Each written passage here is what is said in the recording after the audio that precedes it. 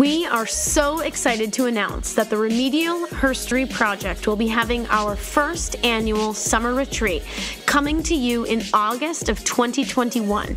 Join us here in the White Mountains of New Hampshire. Kick back, relax, enjoy the spa, and a little bit of women's history.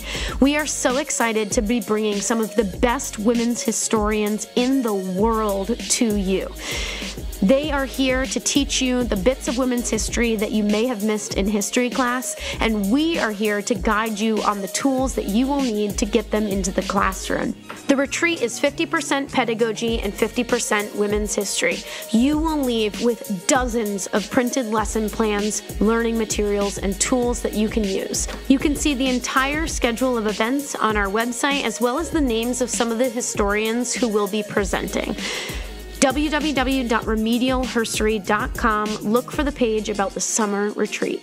Come, relax, and enjoy the White Mountains of New Hampshire with us.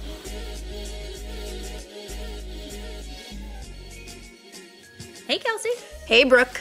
Want to tell everyone what's happening in today's episode? In today's episode, we are going to be seafaring women. Oh my. and we're joining Gudrid and my new friend Sarah Durn, who's going to teach us about women in the Viking raiding civilizations. R. R. Let's get into this. I don't know if they said R. We'll find out. R. I don't know. What's a Viking say? What do Vikings say? What does the fox? Hello, and welcome to Remedial Herstory, the other 50%, the podcast that explores what happened to the women in history class. Now, here's your host, Kelsie Brooke Eckert, and her partner in crime, Brooke Neva Sullivan. Sexist historians and Gudrid the Viking.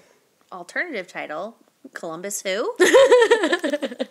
Yes, Brooke, I'm so excited. You know this that Vikings discovered America before Columbus. yes, I'm an expert at Vikings. Let's talk all about it. Okay, so actually, I do want to start there. What do you, what do Oh, you no. know about Vikings? Okay, so um I have seen that series Viking, which is very entertaining and super gory, but I have an interesting story. My dad is not super religious, but he we grew up on a lake and he wants to have a Viking funeral. And I don't know if you know this in Viking culture that they set you out on a raft and they light it on fire from archers from the shore when you die. So your body's on this raft. Archers are on the shore with these lit Are you the archer? yeah, the let me get to this. Okay, sorry. So then the the bow and arrow goes out, the arrow hits the raft, it lights it on fire, and if the flame from the fire is the same color as the sunset, you get to go to Von Holland or Van uh, Van yeah, I think that's what you say. It's like the heaven of the Vikings. And it meant it meant you lived a good life and that you were a good man. And so my dad really wants this moment, which Okay. is very interesting there's a lot to talk about here of where do we get a raft? Can we put you out on the lake? Are we allowed to light you on fire? Who is going to be the archer? And he goes, This sounds like a you problem. I need to meet your Uh, dad. and my dad's name is Dickie. And so I was like, Okay, Dickie, I'll make that work. Thank you. Uh, have a nice death, and I'll figure out your Viking funeral. Sounds like a you problem.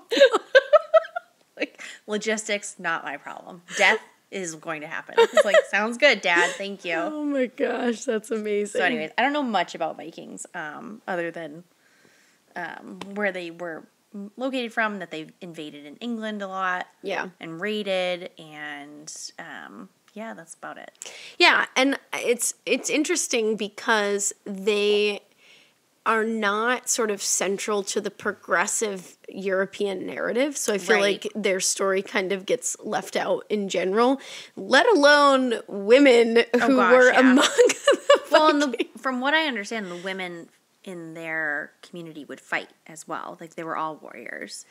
Yeah. So I'm really excited to introduce you to a historian working on this research. And um, I have asked her because this is debated. Um, the point that you just made about about women being being warriors and among the raiding parties and um, traveling with them, you know, around the world where Yeah, they went. ships. And um, and so I'm really excited to chat with her and better understand the historical evidence that there is to support that. And she's just a wealth of knowledge. So why don't I have her introduce herself Awesome. to us? Great. So, my name is Sarah Durn. I am a journalist and author uh, and tend to write a lot about medieval history.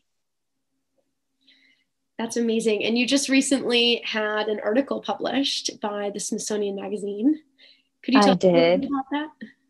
Yes, I just had an article published with the Smithsonian Magazine about Gudrid, who is this Viking female traveler who was alive around the year 1000.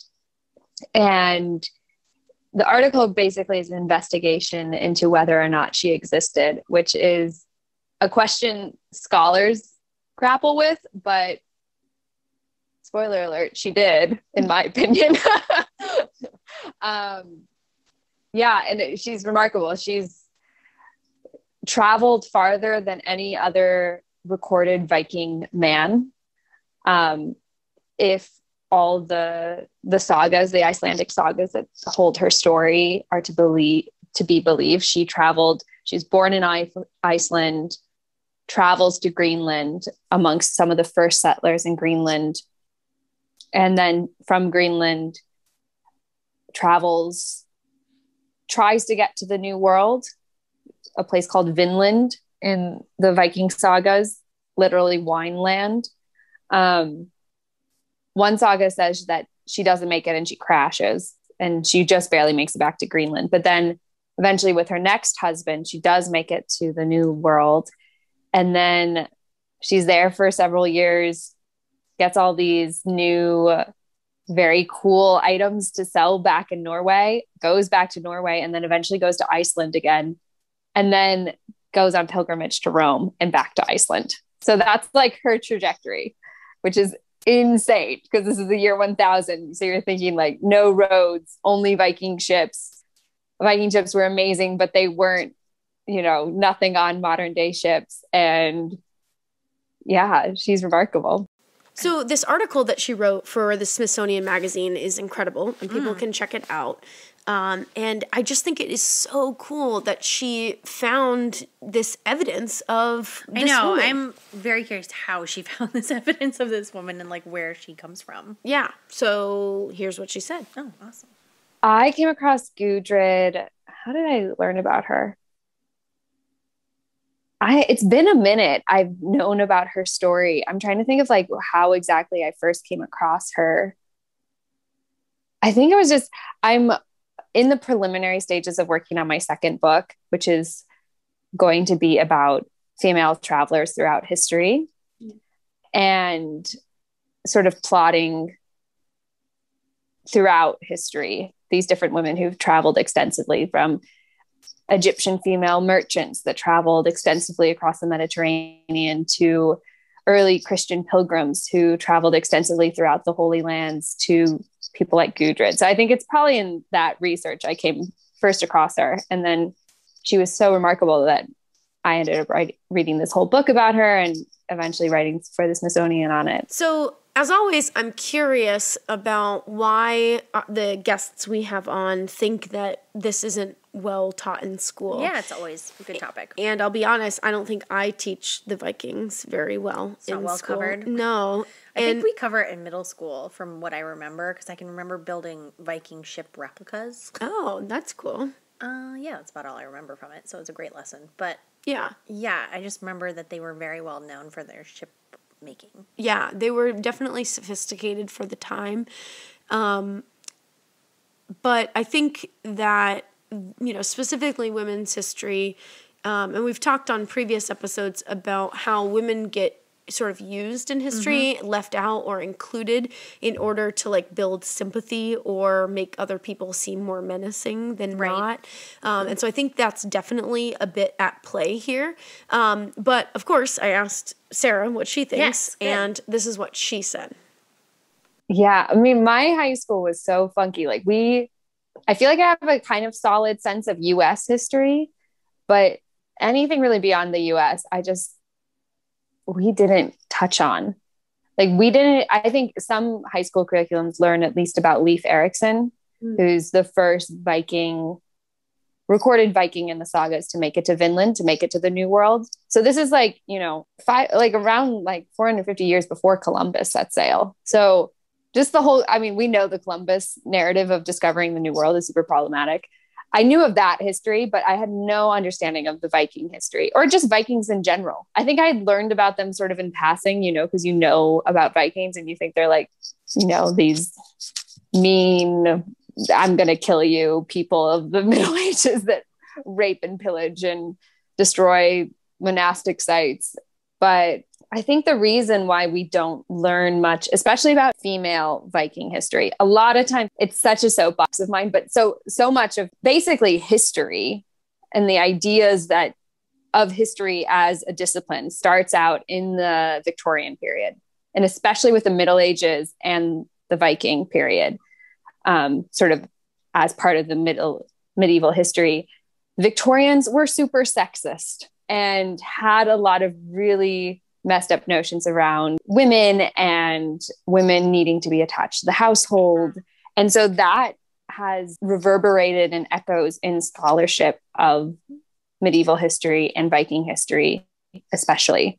During that period, you have British imperialism. So you have England basically conquering a lot of the world. Um, you have industrialization.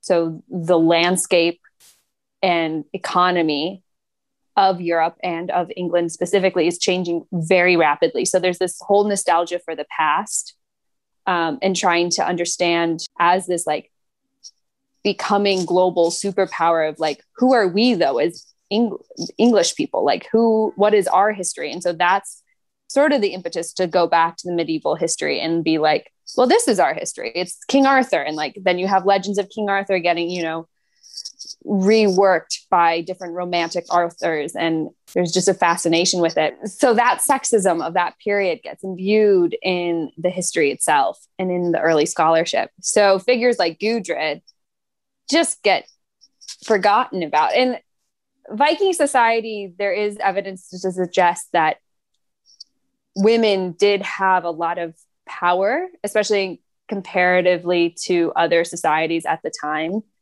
women, especially widows, um, could inherit property. They would have had the right to divorce. Um, we have records of Viking queens, you know, giving laws and setting, you know, um, managing disputes between different neighbors and stuff. So they had a lot of power. That shouldn't be um, something that's debated, but it is something still debated oftentimes. There's this whole like scholarship around Viking women being buried with keys, and keys are some sort of uh, like a symbol of the house. But there's almost just as many Viking men buried with keys, and there's not really all that many women who are buried with keys. But it was just like this thing in the Victorian period like, oh, here's a woman, she's buried with a key. She must have been like controlling the house. And that's all to say. So Viking women, you know, they didn't have certainly the rights we have today as women, but they had a lot of rights. And they are in the sagas. So most of the Viking history that we get from the Viking perspective are in these sagas. Um, is in the Viking sagas. And mainly they're recorded in Iceland around like 250, 1350. And in those sagas, it's mostly follows the stories of men. But there are a lot of strong female characters in those sagas as well. Gudrid exists in two sagas the saga of the Greenlanders and the saga of Eric the Red, which are both Icelandic sagas. She plays a relatively minor role in both. She's not the main character. She is maybe fights to be the main character in the saga of the Greenlanders at the beginning. Um, but her story, it's mainly the story of the men. Um, we think there was maybe a saga of Gudrid specifically, but that's been lost to history. When we're talking about Vikings today, the main, what most scholars are doing today are m- matching the Viking sagas with archaeological evidence the sagas it's sort of our equivalent to you know a tv show based on medieval history or based on history but isn't actually history. Like it's entertainment first and then secondary like maybe has some historical tie-ins. That's a bit of what the sagas are. They they weren't meant to be a history textbook in any way. They're really like novels. They're a lot of scholars compare them to and some say they're even like the first novels of human society so she's talking here about the different sagas that are mm. written, and there are two that Gudrid's story come out of. And the fact that two different sagas mention her, I think, is pretty interesting. Yeah. Um, Do you but, think that that gives it like relevance, or that there is truth to that? Then. Well, I'm not really sure because in history, there's always circumstances where things could be the same thing. Like in the Bible, the flood that Noah, you know, saves yep. everybody from, um, that there's a flood that sounds really similar to it in the Epic of Gilgamesh, which comes out of Mesopotamia. So, is it possible that these authors are talking about the same flood? Yeah, it's definitely possible. Um, okay. So, so just having corroborating sagas it could could be the same thing. I mean, it makes sense. Like when you say it's like okay, these two different sagas are mentioning the same person. Yeah, it does make it seem much more realistic that she lived and right. this was real. Yeah, but how do you like how do you prove that? How do you prove it? Right, and I think that gets to like just the question of like literature, right? Like literature is not, and the sagas were not intended uh, to be right she says they're they're intended to be entertainment right? right? and so what we say when we're trying to entertain people versus what we say when we're trying to inform people are very different things are they yeah have you heard of the the fish tales right fake news yeah fake news oh yeah that yeah that too um, so i'm not really sure and so what i'm curious about is she talks a little bit about how they're you know they're trying to take these sagas and find archaeological evidence that oh, cool. supports it. And I'm just curious if there is enough archaeological evidence to give. What's enough? Uh, right, I know, and what is enough? Like, you know, where do scholars land on on that question? Like, I found a fork. I found one fork. So does that make a meal? I feel like this is getting into a weird hypothetical. I yeah, we can live there. Okay, but all right. so here's what she said what's really cool is that especially in Iceland, this is really on the cutting edge in Iceland in particular because so much Iceland was a colony founded by Vikings. So obviously they're very invested in Viking history and they have the most recorded sagas written in Iceland. So a lot of times archaeologists in, in Iceland will use the sagas to find different historical sites that then they do archaeology on. And with Gudrid in particular, they have found her house in Iceland at Glaumbær. And, you know, some archaeologists are like kind of hedge their bets and they're like, we don't know who lived here. But according to the sagas, Gudrid would have lived there at the time when the house was built, at the time you know, at in this specific location at this time, the saga mentions this house where Gudrid lived. So some scholars are willing to, you know, make that leap and be like, it's Gudrid's house. Other scholars are like, yeah, I don't want to do that because, you know, we can't really prove that Gudrid lived there. But there's a lot of things like that, especially, I mean, I know mostly Gudrid's story, um, having written this article. So we have in Newfoundland and Canada a Viking settlement where the Vikings, it was basically a staging post to do more exploration inland to Vinland into the New World. And it's called L'Anse Meadows. And there they discovered a spindle whorl, of which would have been used by Vikings to spin wool we know that spinning wool, because of the sagas, was primarily classed as a woman's job. So the fact that they found this spindle whorl in L'Anse Meadows proves that there were women there. And likely there wasn't just one woman because what singular woman would be like, hey, I'll just go on this expedition with only men? No woman would want to do that. Right. So we know, and we know in general, like when Vikings would go on raids in England and across Europe, they would bring women with them. And I think, I believe that uh, there were Viking female warriors, which is something still debated in scholarship, but I think the evidence is pretty convincing. There's actually a really good book coming out on the topic earlier, uh, later this summer called The Real Valkyrie by Nancy Marie Brown. Her book, she wrote a book on Gudrid. She's actually written two books on Gudrid, but one um, is sort of a fictional saga of what Gudrid's life was. Like if we were to have the saga of Gudrid, what it would be. And then her other book on Gudrid is more about interviews with scholars and actually pulling apart the history. But she makes the argument in this new book of hers that women warriors did exist.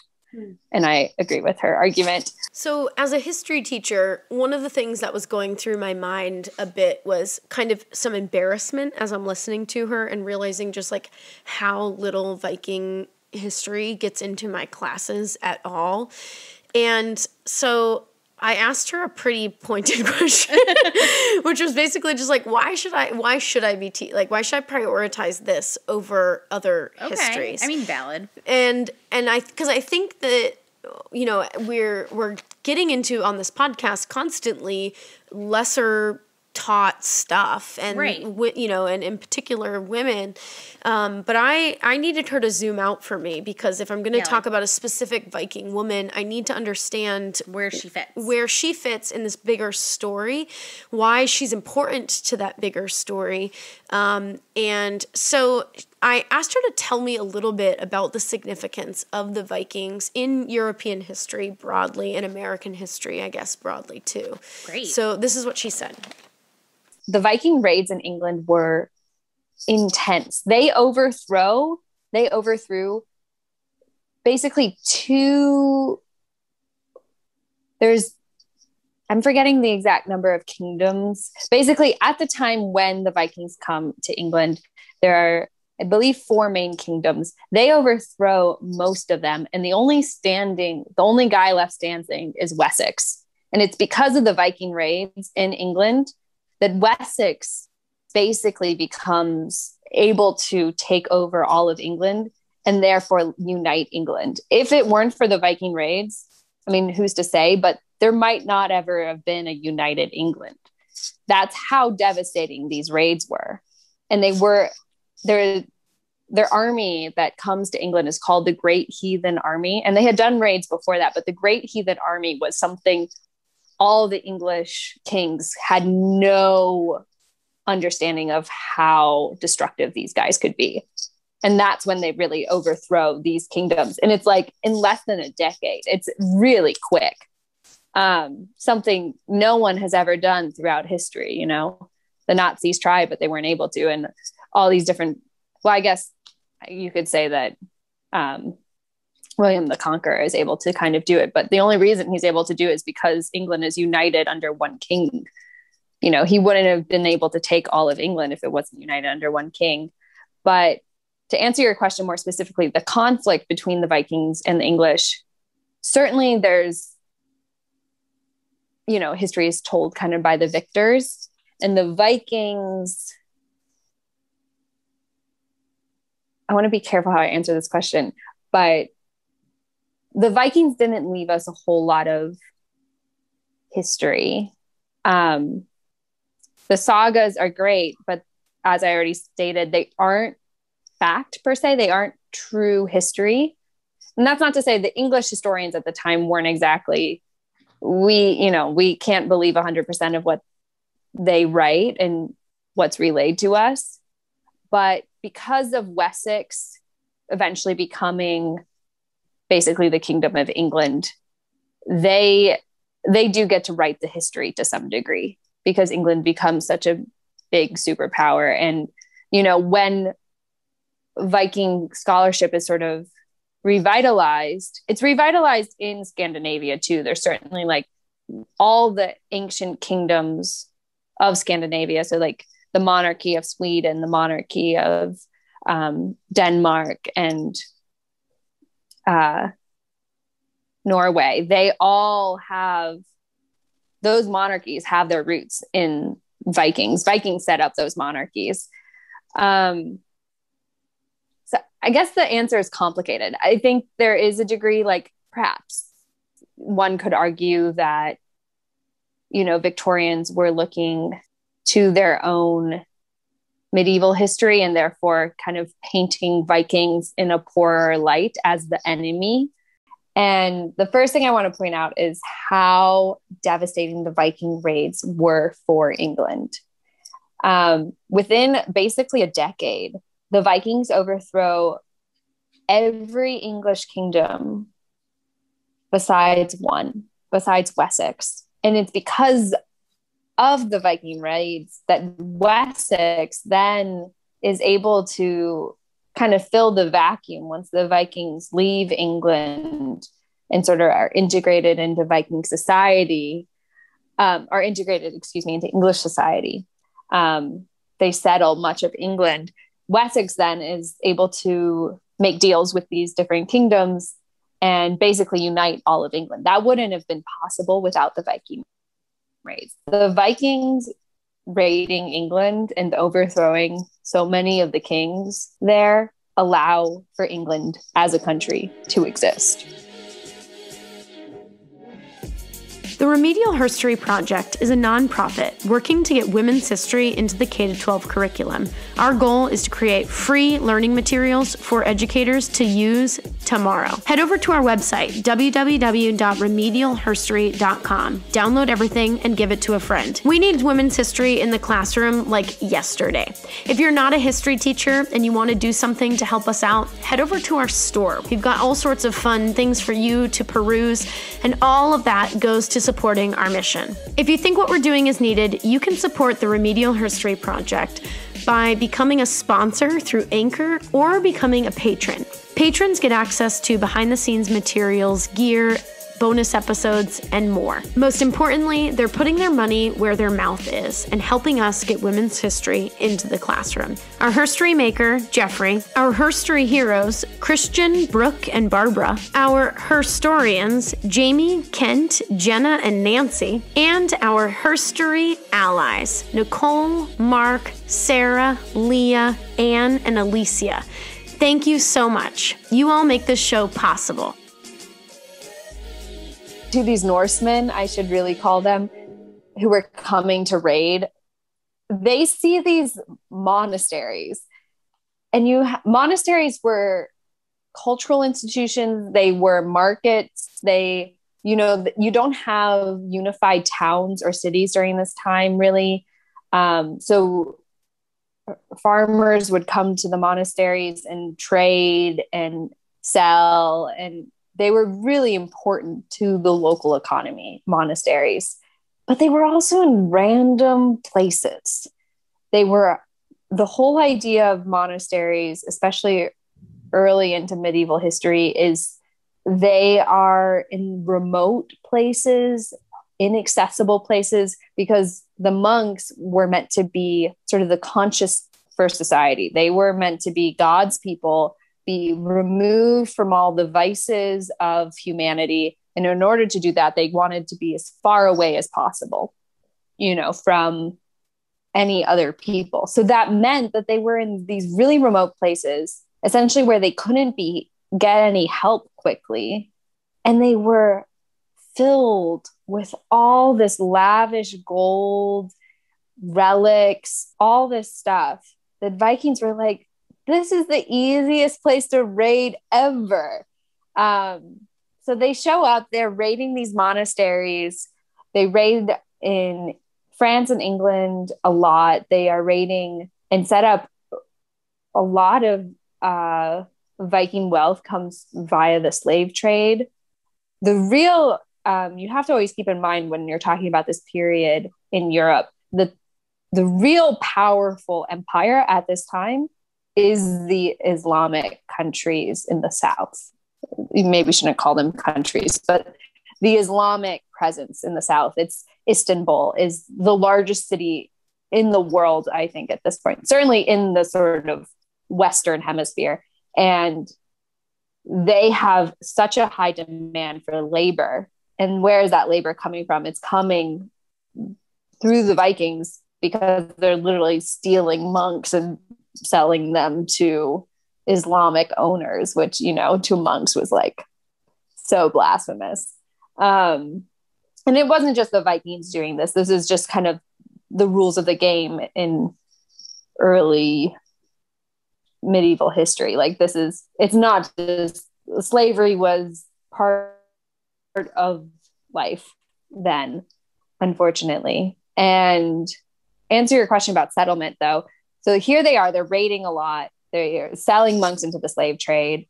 They at first are just truly raiding. So they're getting in and out. They're taking these monastery goods. It's very funny, actually, that I mean, not funny, but sort of dark because, you know, many of these monasteries have like relics of the true cross. So it's like this splinter of wood. And the Vikings will take it and then ransom it back to the villagers and be like, oh, you want your splinter of wood back?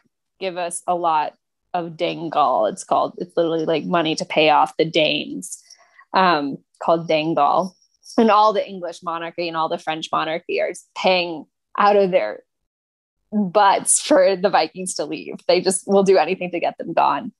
But then there's a shift. There's a shift, and Vikings are now looking to settle.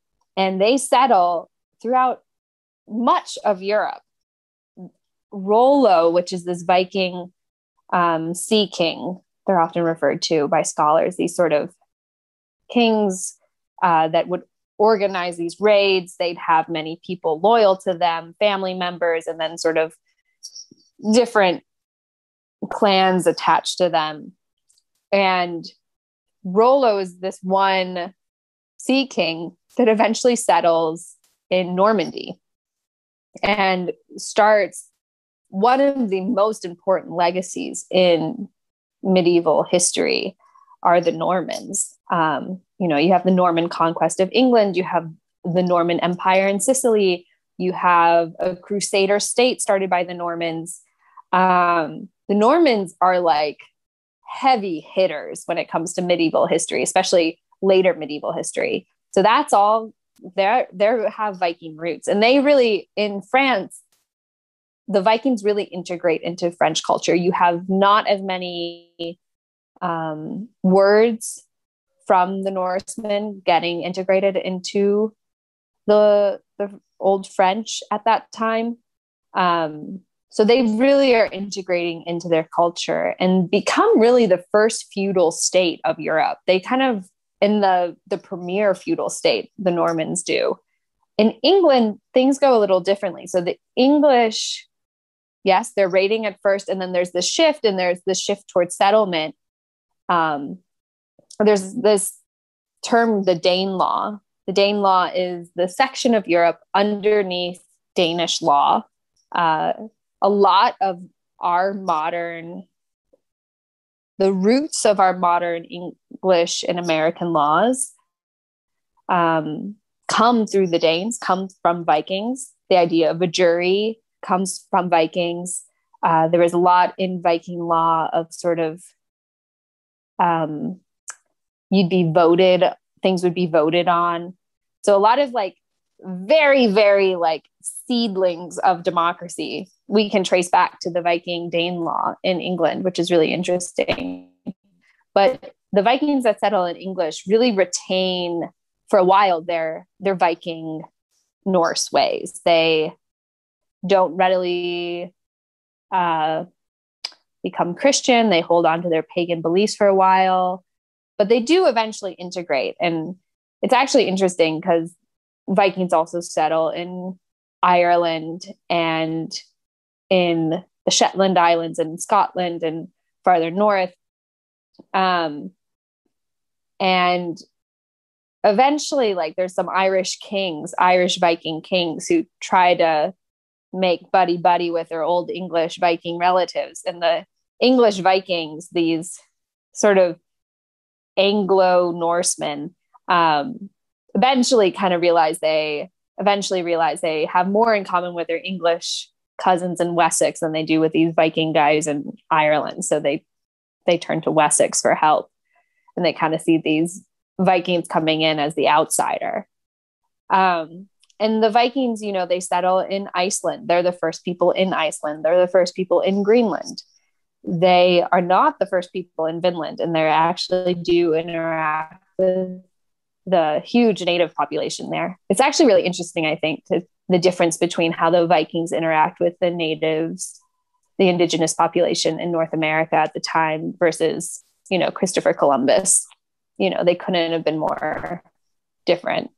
Um, what is different about that interaction? So this is going back to Gudrid's story a bit because Gudrid actually in the sagas, it's really fascinating. So the sagas have this one scene with Gudrid and an indigenous woman.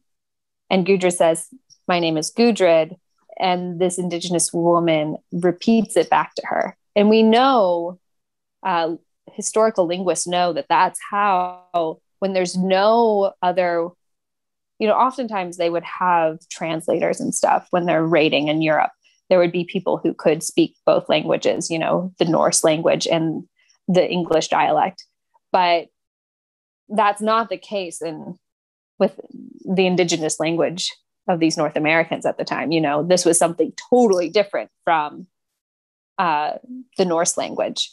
And historical linguists know that when language is first kind of being taught, you know, you think of like Arrival, right? With like the teaching, how do you like speak to someone who's so different linguistically to you?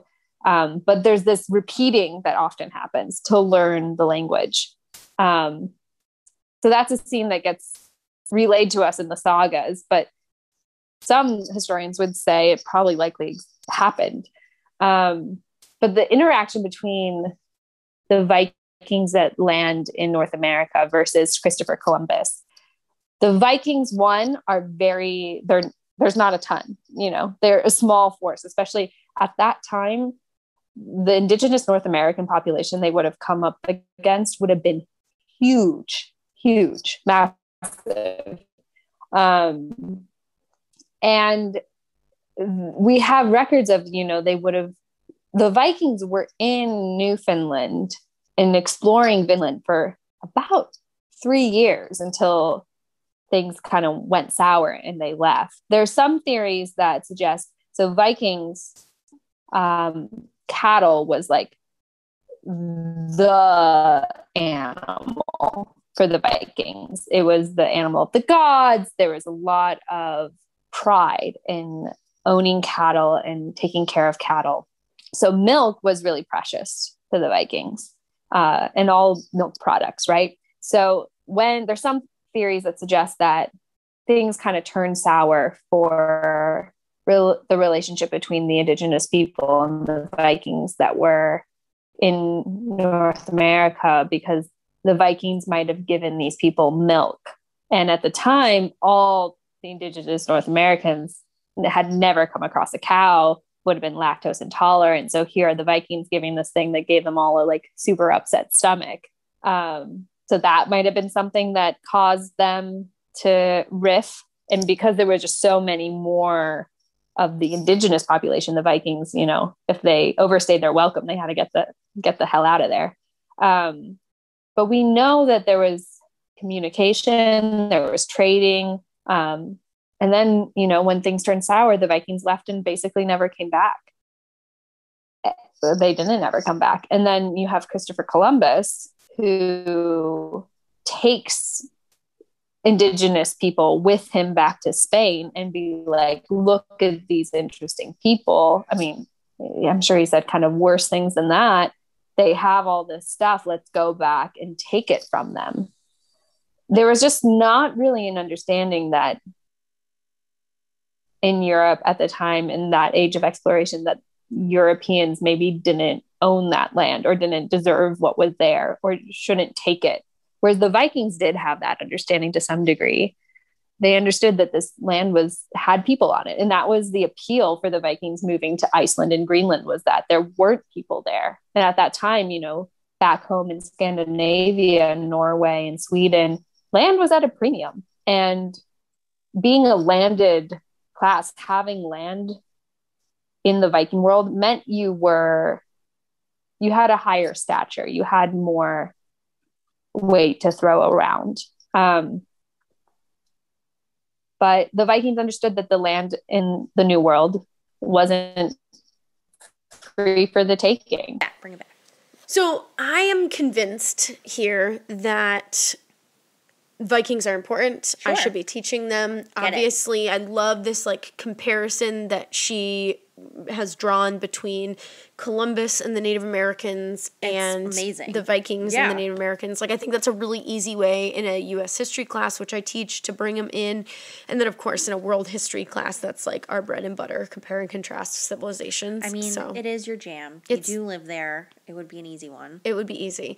So, um, what I need her to sell me on a little bit here is the whole woman question because this she keeps repeating this idea that like it's debated among historians about women's Sure. role. And and so I don't want to be you know off on a limb being like and women were there. So like what what you what like evidence does she have that um, women were among the the Vikings in their ventures to the New World, in their raids in Right. the UK. Like, what was their role through all of this? Were they caretakers? Were they warriors? You know, what were they doing? what were they doing? How do we know that they were doing that? Um, what was their status? Right? Yeah, did they lead the charge? Were they, you know, taking a raid party out on their own? Did they captain a ship? did they? That is what I'd like to know. Tell us more. We need to know more. So this is what she said. To answer the, your first part of your question, Gudrid's story, and specifically kind of what Gudrid represents, meaning that the female explorers that come to the new world, which is just mind boggling, right? This is the year 1000, give or take. And we have this Viking female traveler in Gudrid who, you know, her story in the sagas. So I already mentioned, but she's mentioned in two sagas the saga of the Greenlanders and the saga of Eric the Red. Her account in both of those stories differs to some degree, but there's some things that are true across both of them. Um, and what I was discussing with Nancy Marie Brown, who is Gudrid's biographer, she basically makes the argument that if something happened in both sagas and there was archaeological evidence for it, she was pretty convinced that we could say that was true. That was enough for her. Different scholars might have a different metric of, um, you know, what verify something as truth. And both sagas say that Gudrid was born in Iceland. Both sagas say that she was in Greenland. Both sagas say that she remarries. Um, so she would have been a widow. And as a widow, she would have had the choice of who she married. Um, so we already are dealing with like a fairly independent woman who one of the sagas has being quite wealthy, or even owning a, her own ship. And in owning her own ship, owning a ship in the Viking world was like owning a Ferrari. I, even more than that, it was like owning a yacht. It was it was huge. It meant that you it to build one of these ships would take could take a really long time and would be very expensive. So you really had a, quite a lot of social mobility and were quite wealthy if you owned a ship. And we think Gudrid might have owned a ship according to one of the sagas. Um, and in both sagas, she goes to North America. She goes to Vinland and she has a son in Vinland. And in terms of the evidence, to answer that part of your question of how do we know Gudrid was there? How do we know a Viking woman named Gudrid existed? We can't, some might argue, but we know that other people mentioned in the sagas did exist. You have Harold Finehair that becomes the first king of Sweden or Norway, I'm forgetting which, but he's the first one to unify one of those countries. And so we have we know that these people mentioned in the sagas existed. And if Harold Finehair existed, if Leif Erikson existed, why not Gudrid? The only difference is that she's a woman, and scholars sometimes get a little snooty to fully commit to saying a woman existed in history, which is annoying. But um, we know that there were women in North America because of this spindle whorl. So when they there's the Viking settlement in Newfoundland in Canada, in a really remote area in Newfoundland. And it would have been like the staging post for where Vikings would have fixed boats. There's evidence that boats would have been repaired there, and then they would have continued to sail on into North America.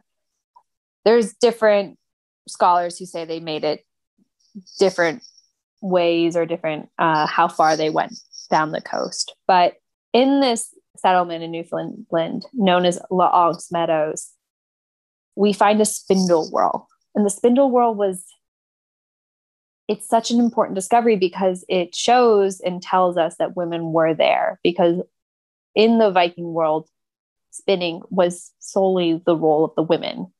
In the sagas, it's only ever the women who spin. Yes, perhaps a man could have spun, but it's very unlikely. And most scholars are in agreement that because the spindle whorl was discovered in Newfoundland, there was likely a Viking woman there. And if there was a Viking woman, one Viking woman, there was likely more than one.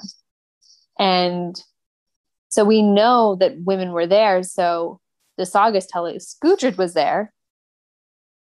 So it's only a hop, skip, and a leap to say Gudrid was one of those women in L'Anse Meadows, staging different explorations of North America around the year 1000. Um, yeah, so that's sort of the evidence that we have for Gudrid. So to answer then the second part of your question, which is very exciting, um, did Viking women fight? Is sort of this question that has been debated and debated in scholarship. And it will probably continue to be debated and debated in scholarship. The evidence to suggest that women did fight. There is this grave that was uncovered. It's known as the Birka grave. It has one, Birka 461. Um, it is a grave that is clearly of a warrior, of a Viking, you know, someone who raided. Um, this body is buried with a sword. It's buried with two heads of a horse. So, two horses would have been sacrificed with this person who was buried. So, women were obviously a part of these sure. Viking voyages and, um, or Norsemen voyages, as she keeps correcting. Vikings were the people that raided, Norsemen were the people. And um, so, women were obviously um, among the, the people. And um, what I would love to know more about is whether or not women fought, right? Because yes. a huge yeah. piece of what Vikings are doing is is warring, right? They're raiding and well their goal is expansion, right? Isn't yeah. like typically what you hear and read is that they want to expand in all directions and conquer. Yeah. Um, and so you have to wonder how they did that with just men. Yeah, and and you know, and women were obviously playing roles, but what were you know when we think of world history, we think of certain jobs being barred from women. Right. But m- we don't need to impose that right. thought on civilizations. And so, is it possible that women women were fighting among the Norse raiders? Yeah, and more seen as peer versus subordinate. Right. So she talks a little bit about this grave that they have uncovered, and there is a sword buried in this grave. Um, and it is with a female body. Awesome. And so historians are kind of all over the place and archaeologists are kind of all over the place on what this symbolizes. Means. Yeah. And um, is this just a symbol of protection that they're sending with her into the afterlife? Is she a warrior? Is that a typical thing for um, Norsemen to be buried with their weapons? So it's typical for warriors to be buried with their weapons. Okay. So is this symbolizing that she was a, a warrior? And one of the things that's that's really interesting is trying to figure out because a lot of the history is being written by us, right? Right. More modern people that are taking our, you know, our view of gender and imposing it on people in the past. And is it possible that people buried with swords are just being buried to have something to take into the afterlife? Or are they warriors? Or is the sword symbolic of something else that we're not even Yeah, thinking like without of? firsthand account, we're really just taking guesses. Right, informed guesses, but Informed, right, but Yeah. still guessing. So, you know, I'm imagining that that's happening throughout history, though. At whatever point you're talking about history, whatever you're living starts to become part of. Right. And the people, I mean, she has reiterated this a bit, which is that the people writing Viking history are super sexist, writing from from their time, these sort Right. of like English Victorian historians. So I think it's really problematic and I wanted her to weigh in a little bit more on the specifically these grave sites that are Right. being found. So this is what she says. So, what researchers discovered in this Birka grave, just to reiterate myself a little bit, um, is that once they did the DNA evidence, this grave, this Viking grave of a warrior buried with a sword, buried with this chess piece, which is symbolic of this logical mind. Once they had all of that, they did this DNA evidence and discovered that this grave wasn't what everyone had assumed for a hundred years wasn't a grave of a man, but a grave of a woman. And suddenly, scholars are doing all this backflipping to be like, oh, but she didn't fight. She was a slave who was sacrificed in the place of her owner. She was symbolically maybe a warrior, but didn't actually fight. The sword is only there as sort of uh, a symbolic grave good and not actually something she would have used. There's all this backflipping that scholars have tried to do to convince themselves that this this grave didn't belong to a warrior. And they might be right. They could be right. But I don't believe they are. I believe women fought in Viking society. We have it recorded in the sagas that Viking women fought. Um, we have this grave now, and we are discovering more like it. And we know in Viking society, it wasn't a society that was based upon gender in the same way, certainly in Victorian England, and even today. There just wasn't as strict lines between gender. What really divided society was powerful and the weak. There were people who were strong and there were people who weren't. The people who were strong would go and raid. If those people happened to be women, what we know about Viking society would suggest, to me at least, that those strong women would go and fight with the other strong men. And if there were weak men who couldn't fight, they would stay home and not go and raid and not be these Vikings. Not, again, like Viking was the term for a raider. Um, and it gets argued and argued in scholarship. But I think this grave is pretty convincing. And in the same case as with Gudrid, it's unlikely that it was just this one woman. If one woman was fighting, as this grave would suggest, other women were likely fighting as well. If one woman, like Gudrid, had traveled to Vinland and uh, conducted this exploration of this new world, this new land, it's likely that other women would have had that power too. Um, so, yeah, I'm just, I think the evidence is fairly compelling. So I'm convinced women were there, women crushed it. I'm sold, I'm in. Yep. So what I need to know is where should I be doing this in my class? Where do Yeah. I where do I put these women? How do I get them into a history class? And this is what she said. Yeah, I saw that you had sent that to me. I I know that there's lots of history programs that do cover Viking history, and especially in America, um, for our listeners who are s- also in the states, as we are, there is Leif Erikson, right? There's this Viking traveler who comes to North America that I think is oftentimes talked about in history classes, at least as a footnote when we talk about the quote unquote discovery of North America. Um, and so when you tell that history, mention Gudrid, but don't only just mention her. I think what Gudrid expedition of the New World, in a way, it's a more important expedition than Leif Erikson. Leif Erikson just kind of showed up, was like, "Yep, there's this land here," and he left.